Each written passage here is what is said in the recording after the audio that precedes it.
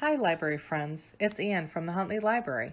I would like to take you on a brief tour of the library's catalog and show you how easy it is to get the books and other materials you want from the library.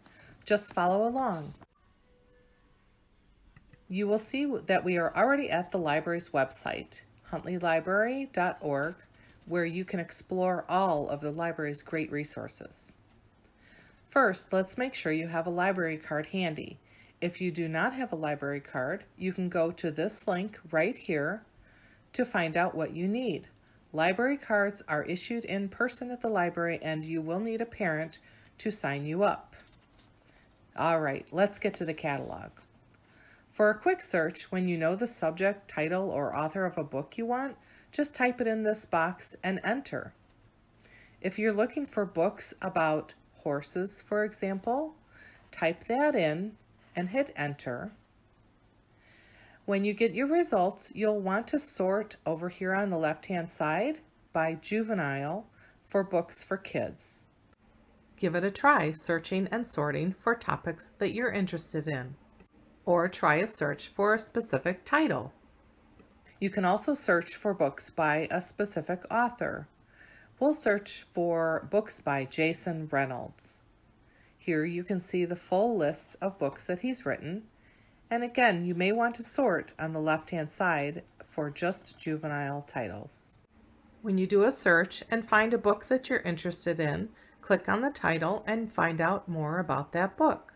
Then you can place a hold or look for it at the library. You can see here if we have the book available and also if there is an audiobook.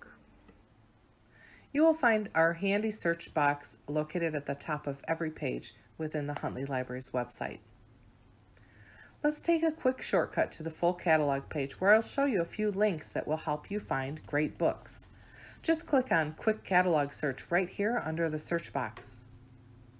I encourage you to explore this page later and check out the library's e-resources, log into your account, or find search tips for now, we're going to look at the left-hand side where there are some handy links that will help you find good books fast. The first one I'll show you will take you to lists of brand new books. Click on New and Upcoming, and then on Books, and then sort your results by juvenile titles. For bestsellers, you can choose children's picture books or middle grade hardcovers, which are for about grade 3 to 6, or children's series.